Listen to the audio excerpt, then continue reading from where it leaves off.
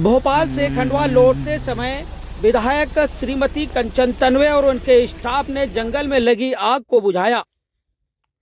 मध्य प्रदेश विधानसभा के प्रथम सत्र में सम्मिलित होकर परिजनों और स्टाफ के साथ शुक्रवार को खंडवा लौट रही विधायक श्रीमती कंचन तनवे ने रास्ते में पड़ने वाले जंगल में एक स्थान पर आग जलती हुई देखकर अपनी गाड़ी रुकवाई। उन्होंने अपने परिजनों में स्टाफ के साथ मिलकर पलाश के पत्तों की मदद से आग को बुझाया।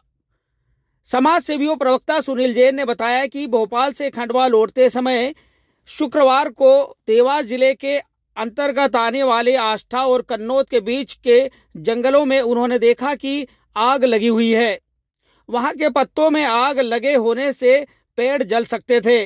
इसको देखते ही विधायक ने अपनी गाड़ी को रुकवाया और फिर अपने जो कर्तव्य है उनका निर्वहन करते हुए उन्होंने आग को बुझाया भी। खंडवा विधायक श्रीमती तनवे ने कहा कि जिस पलसुद माल गाँव में वह जन्मी है, वहाँ आसपास काफ़ी जंगल है और बचपन से युवा अवस्था तक कई बार जंगल में आग लगने पर ग्रामीणों के साथ उन्होंने उसको बुझाया भी है।